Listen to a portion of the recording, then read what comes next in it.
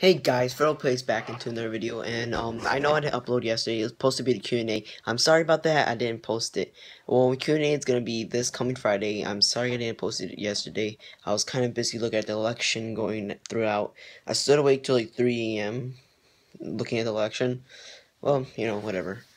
Uh, what happens, what happens, I guess. And yesterday too, I also sprained my ankle, so it like hurts like crazy like I feel like it dislocates something, but I'm not really sure if it did or not. It, like I could still walk on it, but like barely. I could like barely even move if like move while walking. But yeah, so that's like a quick little update on what's happening right now. I'm sorry I didn't upload video today. Oh, not today. Um, yesterday. Uh, I probably will upload another video today. That's not gonna be just this vlog or yeah, little update vlog. So I'm gonna make.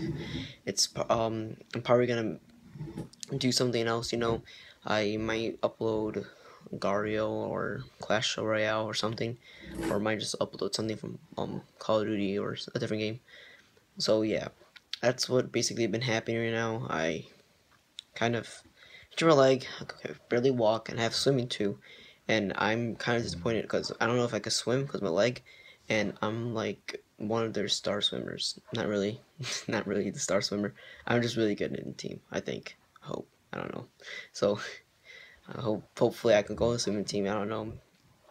Stuck with this leg problem for a little bit. Hopefully go away. I was playing soccer, and then uh, yeah, that happened. Sprained it. But you know, it's it's life. Life. You know, you have to deal with it.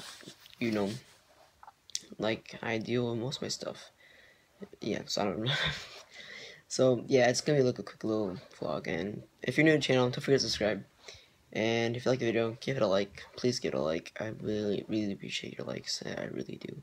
And, um, see you guys next time. FredoPlayz signing off, you know. Bye-bye.